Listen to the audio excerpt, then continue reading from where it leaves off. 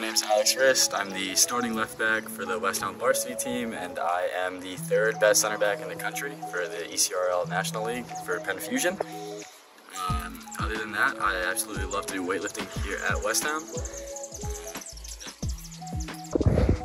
Hi, I'm Matt Mayock. I am a senior at West Westtown, and I was a member of the basketball team. I was the captain of it this year, and last year we won both the league championship and the state championship. And I will be going to play basketball at American University next year. Something I enjoy at Westtown is definitely the campus. Uh, it's so big and you're always going to have something to do and honestly it's one of the best looking campuses I've ever been on. At Westtown, my favorite thing apart from basketball is definitely the sense of community.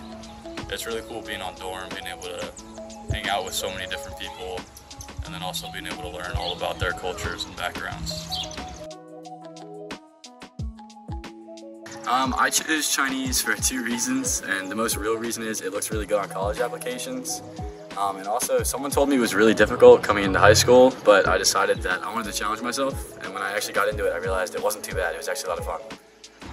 I chose Chinese because I heard it was a very fun language to learn, and it also would let me connect with a lot of the students here at Westtown because we have so many from China.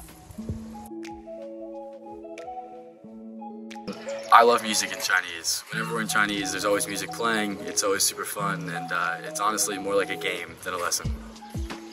My favorite moments from Chinese class were definitely the language Olympics and also the cooking classes. Because the cooking classes get to make and eat good food, and then the language Olympics was just a lot of fun.